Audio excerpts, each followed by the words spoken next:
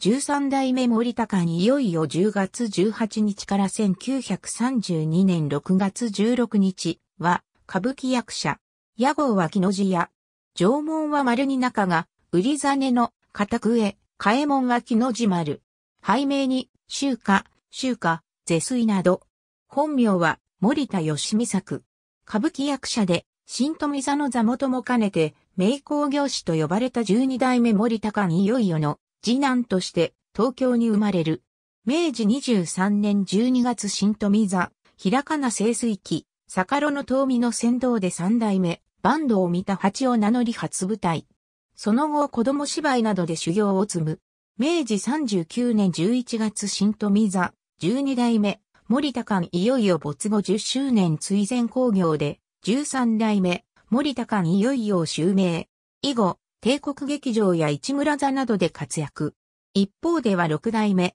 尾上菊五郎らと黒猫座を結成新劇運動にも加わり、大正3年からは翻訳劇と新作を専門に講演する研究劇団文芸座を設立、主催した。昭和7年1月歌舞伎座、名立花の誉れ石切りの六郎太夫と、網模様と老菊切りの初五郎が最後の舞台となり、同年6月に死去、48歳だった。亡くなる2年ほど前に帝国劇場で最遊記に出演した際に暗がりで花をついたのをきっかけに鼻に脳汁が溜まって固まる症状に侵され、一時は通院によりほぼ回復したが、再び悪化していた。かねてより、根高教の京都であった菅いよいよは、病院より進行による治療を選んだが、最終的に教団の勧めもあって4月に大阪帝大病院に入院したものの呼吸困難と心臓麻痺により死亡した。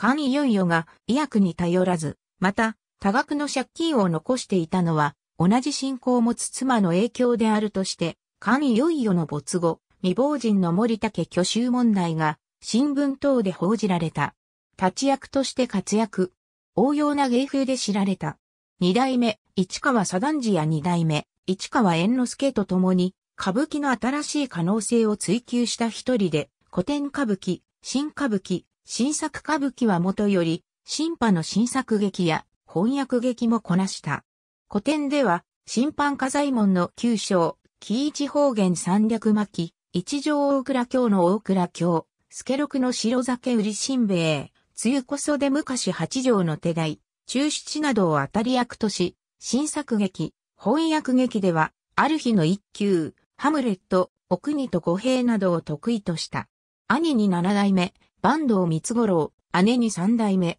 坂東玉三郎。実施に坂東幸太郎がいるが、姉、三木の公用紙に迎えてこれが十四代目森田館、いよいよとなっている。ウィキメディアコモンズには、森田館いよいよに関するカテゴリーがあります。ありがとうございます。